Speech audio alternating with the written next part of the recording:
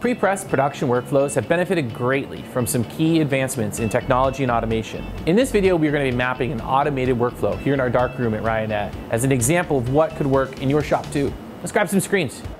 First, we start with the Saati dual coater. The operator places up to two screens at a time into the clamps and, depending upon the settings, can coat between four to 500 screens in an eight hour shift.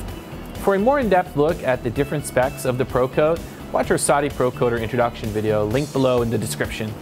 Next, we go to the drying cabinet to dry for about 10 to 15 minutes, depending upon your emulsion, mesh count, etc. For this demonstration, we are using a 2-in-1 coating of CryoCoat emulsion on a 230 mesh. This setup dries in about 10 to 15 minutes using the Ryonet Screen Room drying cabinet. Once fully dried, we then head over to the Douthitt CTS 30 wax printer.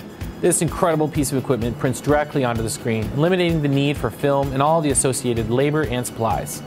The time it takes to print depends upon the design you choose. Here we are printing our Screen Printing is Rad design, which is about 11 by 15 inch and took only about two and a half minutes to print. You can see our full introduction of this machine in our Douthitt CTS30 introduction video linked below in the description. Next, the printed screen heads to the Ryonet CFX exposure unit configured for the CTS30 unit. We are exposing at about 5 seconds. The Ryonet CFX unit does not have glass to accommodate the wax ink on the screen, and as a result, the exposure time is crazy fast with the Green Galaxy CryoCoat emulsion. Now that we are done exposing, we allow the screen to soak in water to loosen the wax from the emulsion. This takes hardly any time at all, maybe 30 seconds or so, and is ready for the easiest washout you've ever performed.